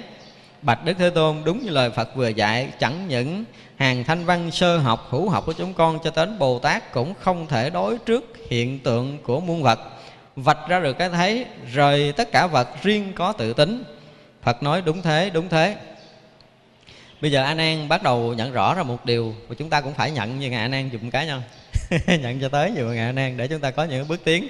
Tức là bây giờ á là a nan cũng đầu hàng với đức phật. Tại vì đức phật yêu cầu là mình sẽ chia ra dùm chia ra dùm là cái gì là vật và cái gì là tánh thấy. Chỉ cho đức phật thấy. Không? Ví dụ như mình thấy đây là cái bàn đây là cái ghế đây là bình bông đây là chậu hoa đây là à, bình à, trái cây đây là cái đèn vân vân thì tất cả những cái chúng ta thấy rồi và kêu chúng ta chỉ thì mấy cái này mình chỉ được hết á. Nhưng mà bây giờ kêu chắc lọc nó ra làm sao mà để cho cái vật nó riêng, giờ cái tánh thấy riêng thì anh an chịu không được. Anh an không trả lời. Thưa đức phật là con không thể không thể phân biệt cái kiểu đó được. Tức là con không thể chỉ ra tánh thấy trong cái cái sự vật đang hiện nơi sự vật được. Bạch Đế Thế Tôn đúng như lời Đức Phật dạy, Tức là anh an nhận ra được cái chỗ là hàng thanh văn sơ học Cũng như hữu học chúng con Và cho tới các vị Bồ Tát nếu có đang ngồi đây. Cũng không thể đối trước hiện tượng của muôn vật vạch ra được tánh thấy. Rời tất cả vật, riêng có tự tánh. Tức là không ai có thể phân biệt ra được cái tự tánh và sự vật này. Không thể rời sự vật mà có cái thấy đó. Không thể rời sự vật mà có. Không. Có tự tánh thì sự vật đang hiện và sự vật đang hiện trong cái tự tánh đang lồng bóng ở nhau như thế. Bây giờ rời sự vật là không có cái gì để chỉ. Rời sự vật là không có cái gì để chỉ. Thì nếu mà có một cái để chúng ta có thể chỉ được, thì cái đó là là vật tiếp tục. Đó là vật tiếp tục chứ không phải là cái tánh thấy. Nó tánh thấy thì không thể chỉ ra bằng bất kỳ cái hình thức nào. Đức phật ờ, khen đúng thế đúng thế. Phật là bảo A Nan như ông đã nói không có cái thấy rời tất cả sự vật riêng có tự tính thì trong tất cả vật ông chỉ ra được. Chỉ là vật chứ không phải là cái thấy. Nay tôi lại hỏi ông, ông cùng Như Lai ngồi trong rừng Kỳ Đà xem vườn rừng cho đến mặt trời trăng mặt trăng các thứ hình tượng sai khác nhất định không có cái thấy mà ông có thể chỉ ra được. Ông hãy phát minh trong các vật này cái gì chẳng phải cái thấy? Thì bây giờ ngài nan nãy là không thể ờ, tách ra được, không thể chỉ ra được là cái thấy nó khác sự vật rồi đúng không? Không thể rời sự vật mà có cái riêng thấy. Không có, không phải thể rời sự vật có riêng thấy.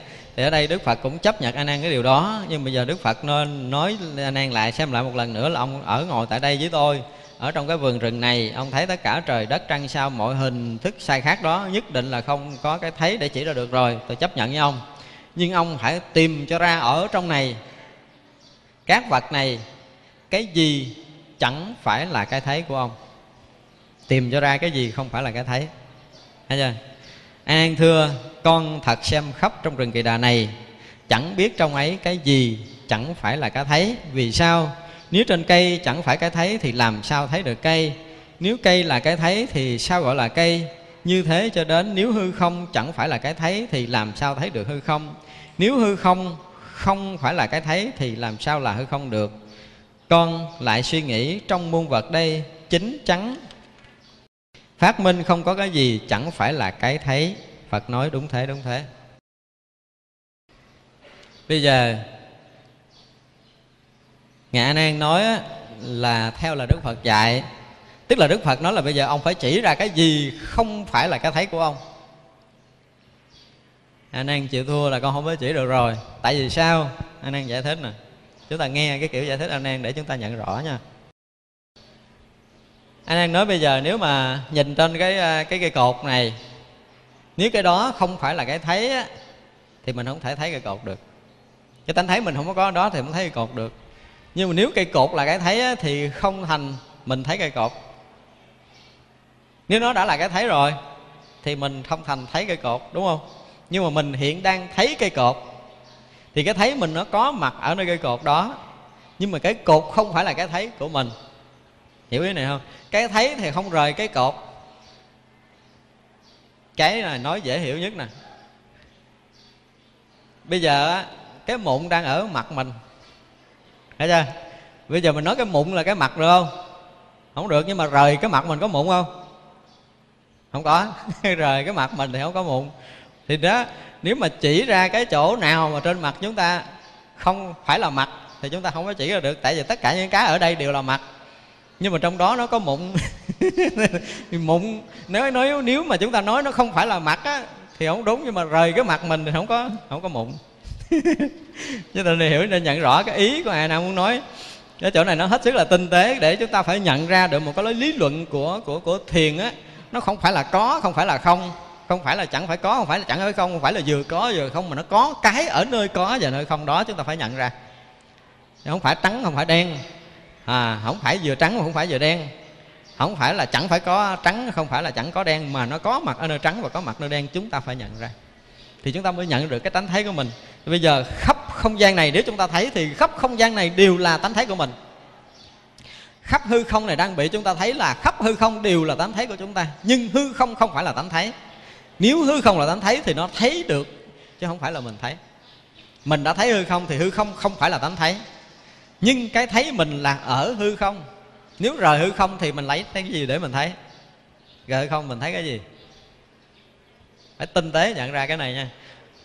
Nó ở đâu đó nhưng mà nó không phải là cái đó. Nó ở đâu đó mà không phải là cái đó.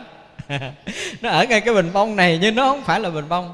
Vì nếu bình bông là tánh thấy thì bình bông đã tự thấy, chứ không phải là mình thấy. Phải chưa?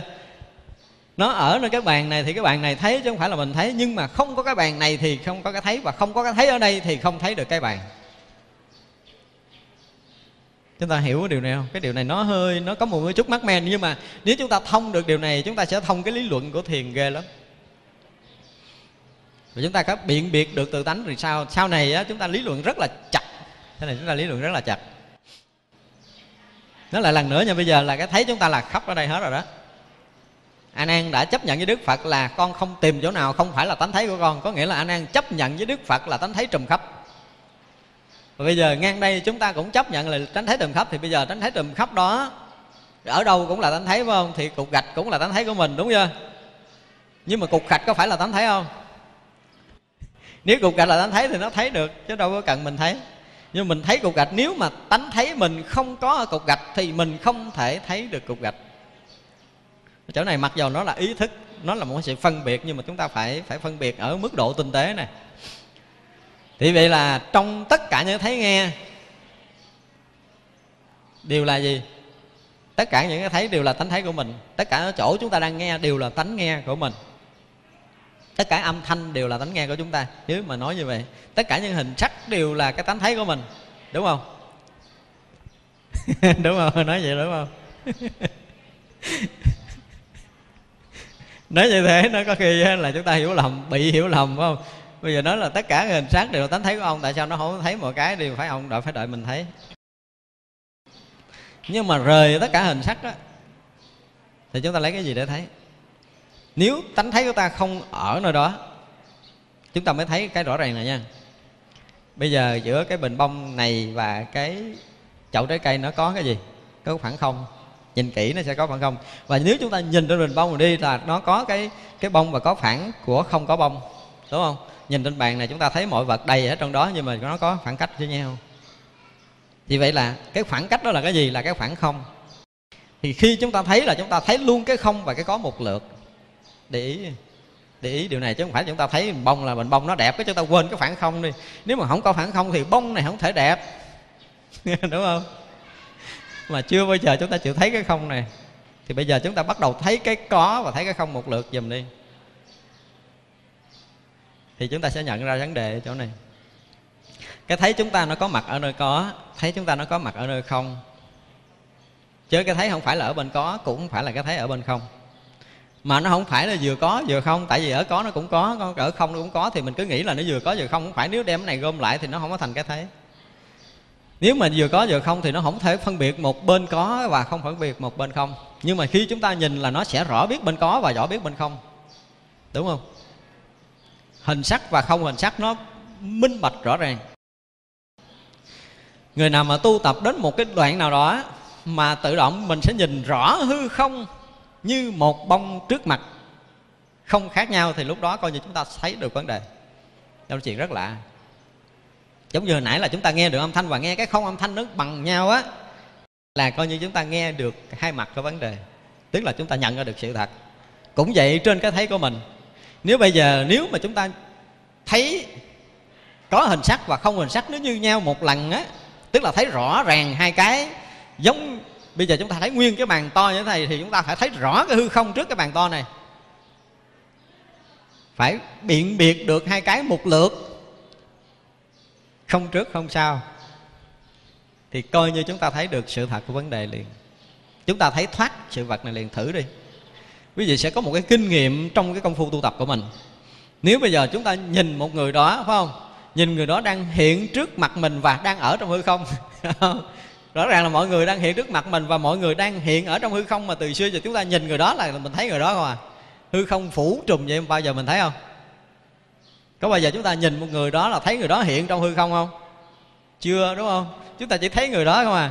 Người ta nhìn cái nhà cái chúng ta thấy cái nhà đẹp chúng ta quên cái hư không đang phủ trùm và đang đang đang đang phải nói là đang hòa quyện trong cái nhà đó. Hư không và con người đó không khác nhau cái gì hết nhưng mà chúng ta quen rồi, nhìn là thấy hình sắc. Thì bây giờ mình nhìn thấu người đó để mình thấy hư không, cái coi. Thì vậy là chúng ta sẽ nhận rõ vấn đề.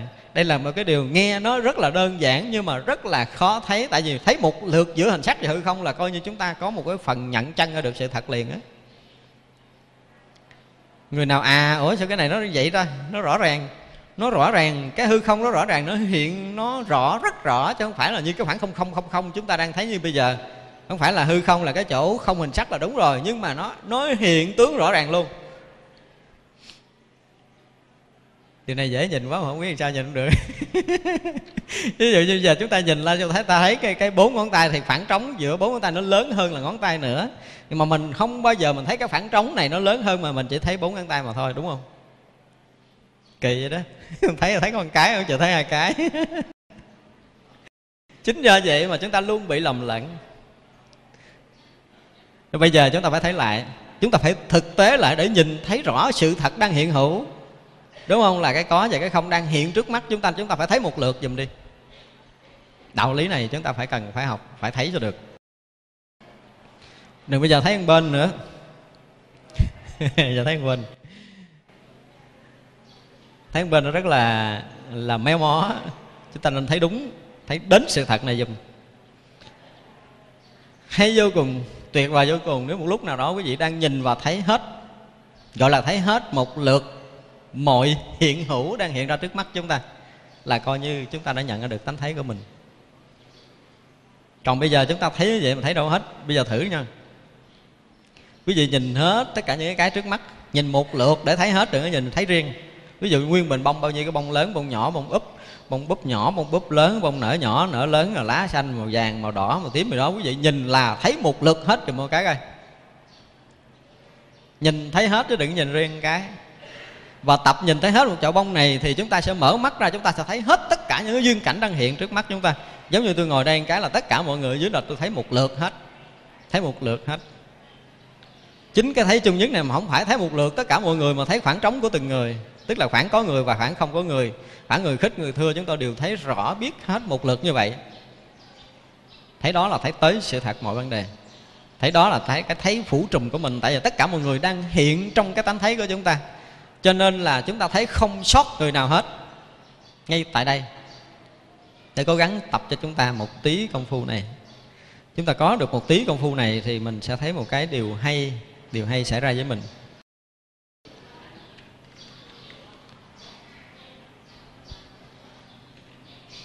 Cái đoạn này á chúng ta cố gắng cố gắng uh, trầm tĩnh một chút tại vì nó bắt đầu nó qua cái cái đoạn khác rồi.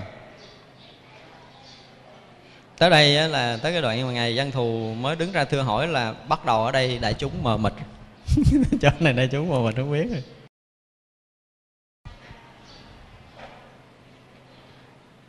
Chúng ta làm sao? Tập tử chúng ta tập công phu này thử bỏ qua những cái điều này rất ổn tại vì kinh điển đại thừa nó rất là đặc biệt. Từng từng đoạn một từng đoạn một mà chúng ta nếu mà thực hành được á chúng ta thấy biết được á chúng ta nhận ra được thì chúng ta sẽ có được một cái sự sống khác khác hẳn bây giờ ví dụ như quý vị ngồi mà nghe một người khác nói bằng thiền định để thấy thấy hết á, để nghe hết á, thì cái lời nói người ta không có không có quan trọng liền ngộ lắm. Họ có ngồi họ chửi mình đi nhưng mà ngồi mình lắng lòng lại để mình nghe đó ha thì mình nghe có tiếng và nghe không tiếng. Thì tự động nó mất đi ý nghĩa của lời chửi liền. Nghe xuyên suốt cái lời chửi, lời mắng liền. Rất lạ. Quý vị thấy mà thấy tổng quát thấy thấy hết mọi cái một lượt á ha, thì tự động là nó không thành đẹp, thành xấu liền ha để gọi là chúng ta thấy chúng ta chuyển được vật. Chúng ta nghe chúng ta chuyển được vật, chứ nếu không là chúng ta không có cách để chuyển đâu. Mà cái đó nó thoát ngoài cái hình tướng, thoát ngoài âm thanh cho nên nếu mà một một người mà khéo tu một tí á, thì nơi thấy nghe họ nhận ra vấn đề. Tại nơi cái thấy nghe này ngay nơi cái thấy nghe này và từng lúc một chúng ta mỗi cái đều rõ biết. Rõ biết không phải là là rõ biết đơn lẻ mà rõ biết cùng khắp. Rõ biết cùng khắp. Này là chúng ta gợi một tí nữa để quý vị thấy nè. Cái biết này nó cùng khắp. Tức là quý vị đang à, đang nghe chúng tôi nói từng âm thanh một, đúng không? Và đang nghe mọi âm thanh chung quanh của mình. Nhưng đâu phải ta đang nghe là đang nghe đâu, mắt chúng ta đang thấy mà. Không, chúng ta đang rõ biết mọi hình sắc nữa. Mũi chúng ta đang thở nữa. Mùi lúc này như thế nào chúng ta sẽ tiếp nhận một lượt luôn. Thân chúng ta lúc này như thế nào chúng ta tiếp nhận một lượt luôn. Ý lúc ta lúc này có như thế nào, nếu chúng ta lắng lòng chút là chúng ta luôn thấy rõ cái sự dao động nơi tâm thức mình luôn tức là nơi lục căn chúng ta đang hiện hữu như thế nào ngay nơi đây? Ở bên trong và ở bên ngoài. Ở ngoài hình sắc và bên trong tâm chúng ta đang hiện hữu như thế nào làm một lượt chúng ta thấy hết. Thì cái thấy đó mới gọi là trùm khắp. Chứ không phải nó chỉ soi ra ngoài mà nó không biết ở trong đâu. Không phải như vậy đâu. Thì nếu mà chúng ta nhận được một phen chúng ta có một cái gì đó đang rõ biết bên ngoài và bên trong chúng ta từng sát na một, thì lúc đó là chúng ta rõ biết tự tánh. Ở nơi chúng ta có cái đó và phần sau thì đức phật sẽ chỉ rất rõ điều này. Đó cho nên là cố gắng chúng ta phải thực hiện cái công phu, phải không? chúng ta phải thực hành cái công phu là rõ biết cùng khắp. Mà muốn sử dụng được công phu này á, là quý vị không nên tập trung nha. Một điều quan trọng là chúng ta đừng bao giờ tập trung. Ví dụ đang ngồi đây chúng ta thả lỏng toàn thân đi. Chúng ta thả lỏng toàn thân để chúng ta nghe, mà không có tập trung, đừng có để ý tới âm thanh à, dù mặc dù là ngồi nghe giảng nhưng mà đừng đẹp để ý nữa nữa. Đừng để ý nữa. Mắt chúng ta cứ nhìn thôi. Nhìn nhưng mà đừng có tập trung vào một vật. Đừng tập trung vào một vật. Chúng ta thử thực hành đi. Đừng tập trung vào một vật gì hết tiếng cứ mở ra là mọi hiện hữu đều rõ. Và phải rõ rõ một cách tinh tế chứ đừng có rõ cái gì lớn quan trọng mà mình nhìn. Còn cái gì nhỏ mình không nhìn không phải vậy. Thấy cái lớn nó quan trọng nó cỡ nào cái nhỏ nó cỡ nào. Cái to nó đẹp làm sao cái nhỏ nó đẹp làm sao, cái màu trắng nó đẹp làm sao, màu xanh nó đẹp làm sao, màu vàng nó đẹp làm sao, tất cả đều hiện một cách rực rỡ trước mình. Mà mình không có phải ở riêng đâu hết. Nhưng mà thường người ta nhìn bông thì bông nở đẹp hơn bông búp. Ví dụ vậy đó. Nó tự động mình có hai cái đó liền. Chúng ta đừng bao giờ thèm làm cái chuyện như vậy nữa không? Nhìn cái màu đỏ thích hơn cái màu xanh liền. Kỳ vậy đó nhìn cái lớn là nó nó nó có cái gì khác với cái nhỏ. Đồng ý là nó có một cái sự biện biệt khác nhau trong cái thế nhìn, mà không can dự của cái xanh vàng đỏ trắng. Nếu khi nào quý vị biện biệt được giữa hình sắc và hư không này, quý vị sẽ ngộ ra sắc bất dị không không bất dị sắc liền ngay tại đây, của kinh bát nhã. Và chúng ta đủ sức để giảng kinh bát nhã 8 tháng chưa hết.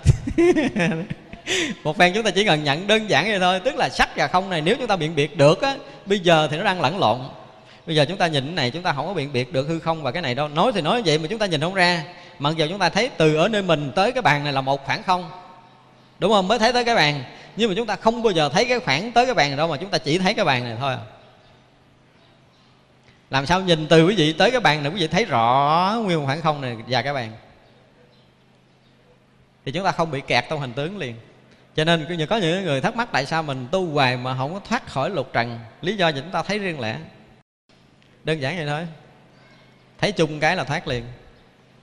Thấy có phản không trước cái sự vật, phủ trùm sự vật đó là khoảng hư không. Hư không là cái rộng mênh mông mà chúng ta không biết tại sao chúng ta không nhận ra, chúng ta chỉ nhận ra một vật à. ở trời đất nó đẹp vô cùng mà nhận có người đẹp đứng trước mặt mình à. không, bao nhiêu người, có nhiều khi nguyên một số người có một người đẹp là chúng ta chỉ để ý người đó, còn mấy người kia chúng ta không cần biết tới. Nhưng mà thật sự là mọi người đang hiện trước mình mà chứ đâu phải có người đẹp đó đâu. Người đẹp đó là nhất trần rồi. Cái là thấy người nhất trần đó, chứ không thấy người thứ hai nữa. Đấy, lý do đó mà chúng ta bị vướng lại. Thế nếu chúng ta thấy cái là hết thì không bao giờ vướng. Thì phải công phu cái này cho kỳ được nha. Nhưng mà tôi nói là quý vị đừng có đừng có chú tâm lắm. Cố gắng là chúng ta nên thả lỏng thả lỏng. Là chúng tôi nói hồi trước là đừng có gì, đừng có chuẩn bị thật sự là chúng ta có bằng cái thấy nghe không chuẩn bị một lần thì nó hết sức tuyệt vời. Đừng có chuẩn bị để thấy gì hết á. Ví dụ như ờ, đưa hiện đây là chúng ta thấy vậy, rút ra chúng ta thấy cái phản không có này liền. Giống như tấm kiến, chúng ta tưởng tượng như tấm gương. Tấm gương thì nó không chuẩn bị, nó soi ai đâu, nhưng mà hiện bằng tay lên, tay đen, tay trắng là nó rõ lắm, rút bằng tay ra là nó thấy không có hình đang hiện trong đó liền. Thì chúng ta làm sao cái tâm chúng ta nó trong như gương như vậy? Để cái gì hiện ra là chúng ta rõ, còn cái gì không có là nó liền mất chúng ta rõ cái mất của nó và chúng ta rõ cái hiện hữu của nó chỉ chừng đó thôi. Ngang đó thôi đừng đưa danh tự vào. Đừng đưa danh tự vào. Tại vì tất cả danh tự đều là ý thức học thức rồi. Cái rõ biết nơi mọi âm thanh là đừng có mang cái danh tướng vào đó. Nếu có danh tướng là sẽ có vọng tưởng. À, thôi đi dừng lại ngay cái chỗ biết. Bây giờ ví dụ như à, quý vị nhìn thẳng tới đây, quý vị thấy hết mấy cái này mà đừng có đặt nó thành âm thanh, quý vị thấy hết không? Ví dụ như nó chưa có hiện là âm thanh là cái bình bông, chưa hiện âm thanh là cái đèn, chưa hiện là cái bàn.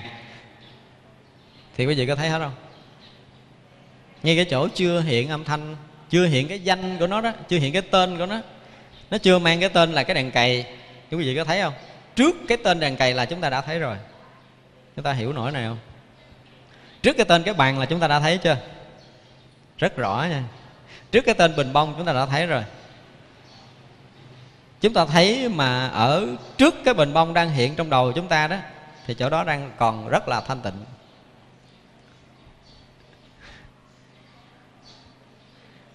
Chúng ta nghe trước danh tự, thấy trước danh tự dùng cái. Phải thực hiện thử cái điều này tại vì mà chúng ta mất cái thời gian mà chúng ta không có nhận được điều này cả đời, chúng ta nó luống qua, chứ không phải ngay tại đây được ngay đây mà chúng ta bị luống qua là chúng ta bị luống qua riết rồi. Phải cho nó rõ ràng ngay tại đây miếng đi. Thì từ đó trở về sau là mọi cái đều rực rỡ với chính mình. Một lần thôi, không lâu đâu. Chúng ta cứ thả lỏng để hay biết mọi cái. Và chỉ thuần cái hay biết đó thôi, đừng có đặt nặng là cái gì mọi cái đều chẳng có gì quan trọng, cứ buông thư. Mọi cái để tự cái đó nó nó hoạt động. Vì chúng ta chú tâm là rớt vào tầng của ý thức. Nên để ý điều này. Chú tâm là rớt vào tầng của ý thức. Buông cái chú tâm ra đi. Chúng ta không tập trung vì ý thức mới tập trung. Còn không phải ý thức là không phải một sự tập trung. Cho nên tập trung để rõ biết là một điều sai lầm trong công phu. Điều này mình không có dám nói nhiều, nó bị đụng chạm, nhiều người đang dạy cái kiểu này nhưng mà sự thật, nếu có mình thì mới có sự tập trung. Nếu có mình mới có sự chú tâm. Và bây giờ buông mình ra đi thì cái gì tập trung và cái gì chú tâm? Và không có cái tập trung, không có chú tâm, chẳng lẽ không có mình? Càng không tập trung, không chú tâm chừng nào thì cái kia nó càng rõ ràng chừng đó vì không có màn mây của ý thức chen vào. Mọi cái thấy nghe biết, thấy nghe hay biết chúng ta đều rõ lên. Cứ thử một lần, buông thõng đi. Cái điều này rất là dễ tập thử một lần ngay tại đây nếu chúng quý vị cứ buông xả được. Ngồi ngay tại đây thôi, chúng ta buông hết mọi cái, không có té rồi, ngồi dưới đất rồi, hết sợ té rồi. Hết sợ té rồi. Cứ làm thử đi, cứ thực tập thử ngay tại đây để chúng ta nhận ra được cái gì đó đang rõ biết mà không phải là một sự chú ý của mình. Không có vận cái lực của thân tâm nữa. Không có dùng lực của thân tâm nữa đi, buông ra hết. Thì tự động mọi cái rõ ràng. Rất lạ. Lúc đó là chúng ta phải thấy chưa dám nói chữa cửa này tôi chưa dám mở. Tức là chúng ta sẽ thấy một sự đồng đẳng của cái thấy và cái nghe. Rồi cái này để phần sau đi rồi sẽ tính. Ngang đây thôi. Nhưng cái cửa ngõ bước, cửa ngõ này chúng ta phải bước vào cái đã. Phải phải phải thả lỏng tập lúc nào chúng ta cũng buông thẳng, buông thõng buông thõng hết, buông thõng hết toàn thân tâm. Để nó lộ ra cái hay biết không tập trung này và chính cái hay biết không tập trung nó mới thấy biết toàn thể. Còn thấy biết tập trung là thấy biết nhen nhúm, thấy biết manh múm, thấy biết nhỏ nhiệm. Nếu cố gắng chúng ta phải làm được điều này. Được như vậy chúng ta mới thoát khỏi căn trần liền tại chỗ đó. Chỉ cần một một một thoáng thôi. Trong đời chúng ta chỉ cần một thoáng như vậy thôi chứ không cần lâu đâu. Là nó đã cắt đứt cái dòng sinh tử luân hồi liền tại chỗ đó đây là điều hết sức đặc biệt mà chư Phật chư Tổ muốn chỉ ra. Nếu mà chúng ta là khéo, chúng ta khéo một tí thôi.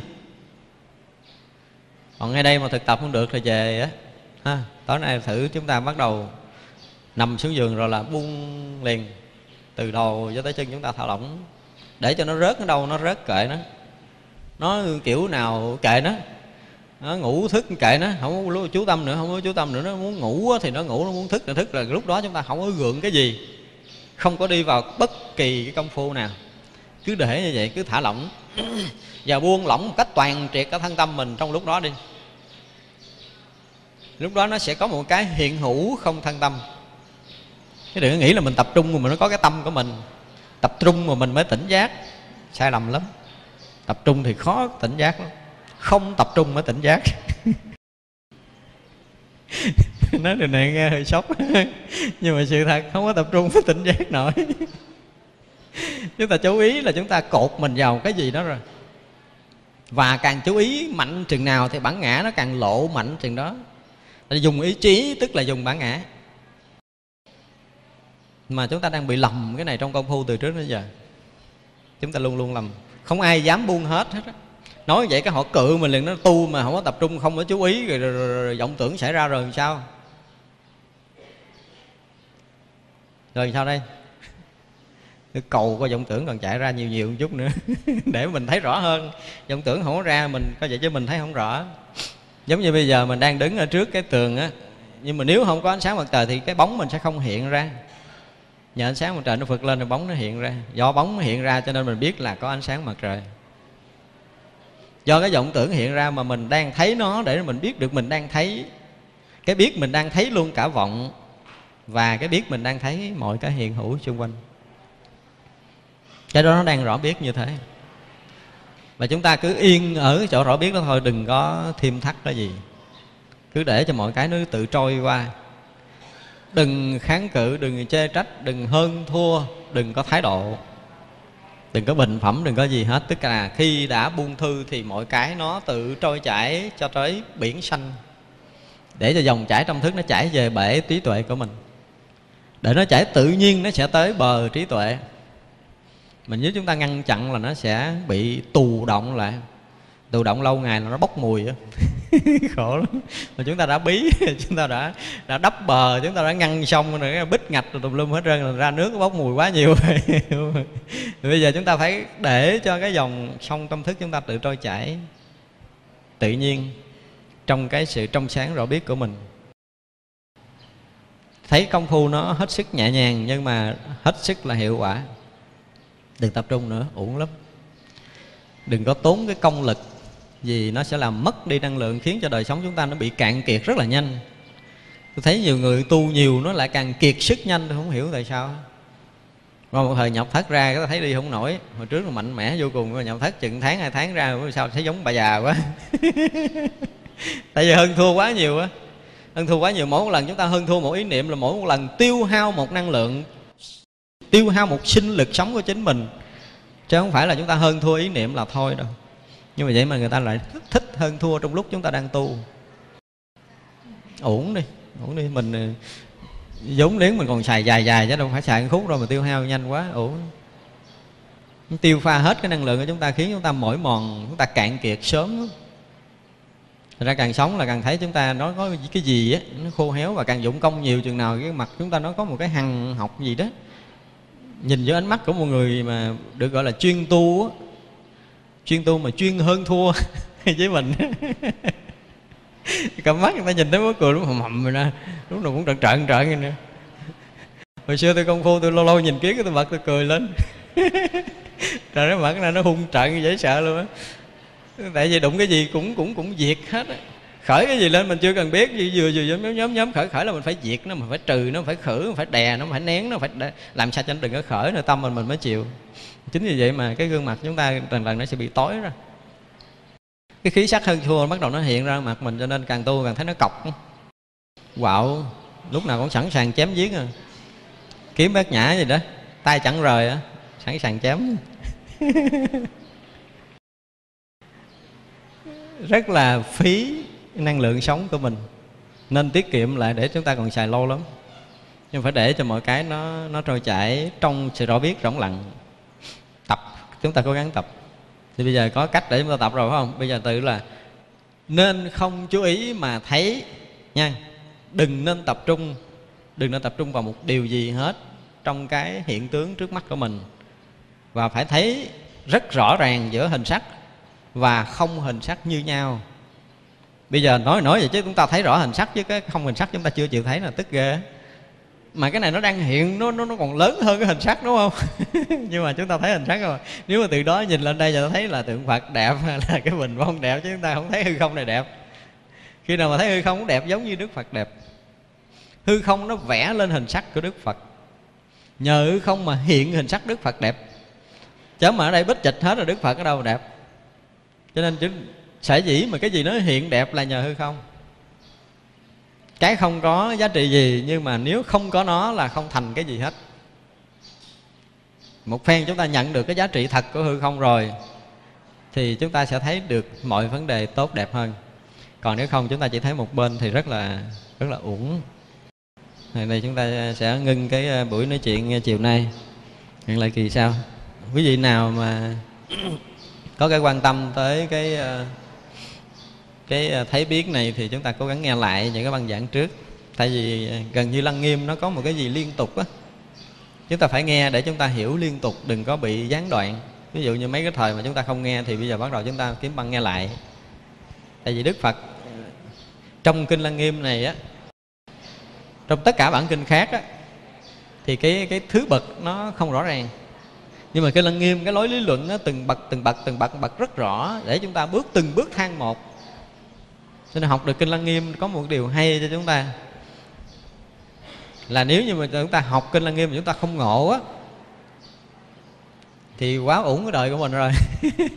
Nhưng mà dù chúng ta không ngộ mà cái cái cái cái, cái nhận định của mình về cái tự tánh nó nó không có lệch nữa tức là đủ cái thấy biết trong cái mặt mà gọi là cái kiến giải chân chánh nó ở một cái tầm mức vọng thức á, thì nó tương đối chuẩn á. khó có bị bẻ cong trong đời sống này lắm. Nếu chúng ta nghe hết bản kinh lăng nghiêm chúng ta sẽ sẽ có một cái nhận về cái tự tánh và sau này chúng ta nghe một cái lối lý luận nào đó về tự tánh nghe một cái kiểu dạy nào đó về cái chân như cái pháp giới rồi là chúng ta sẽ hiểu rõ hết rồi. Ai nói đúng nói sai kiểu gì chúng ta nhận ra được hết rồi một cái sơ hở lý luận trong này thôi đức phật không bỏ sót đặc biệt như vậy? Ừ. Cho nên là cố gắng chúng ta phải nghe từ đầu lại. Nếu mà chúng ta đã lỡ những cái thời gian trước là cố gắng nghe từ đầu lại. Nếu mà chúng ta có có quyết tâm mà giải thoát trong đời này, thì bản kinh lăng nghiêm là một cơ hội cho chúng ta. Nếu bản kinh khác thì nó nó quá miên man đi. Nhưng mà kinh lăng nghiêm thấy như là nếu chúng ta đọc thấy như là nó nó là một cái lối dạy để tu, nhưng mà không phải, nó là một cái thực hành. Cho nên khi mà nghe băng á, quý vị phải để cho mình rớt vào cái trạng thái đó. Hiểu không? Nghe từng đoạn băng là chúng ta phải để cho mình ở trạng thái đó. Phải nâng cuộc sống chúng ta tới tới tới tới tới những cái đoạn đang nói á. Thì những cái đoạn đang nói là những cái đoạn nâng cấp tâm linh của chúng ta rất lạ đức phật nâng cấp từ từ từ từ từ từ.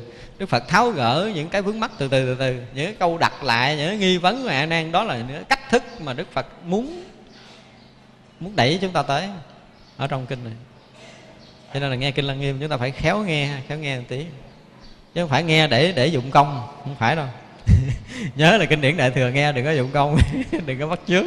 Nghe không thể bắt chước được, nghe là phải thể nhận ngay tại đó, chứ nghe đừng có bắt chước để làm theo kinh đại thừa, nghe để làm theo là có chừng chúng ta làm sai. Mà nghe phải nhận liền ngay tại đó để chúng ta sống là đúng. Rồi vậy à, chắp tay hồi hướng. Chúng à,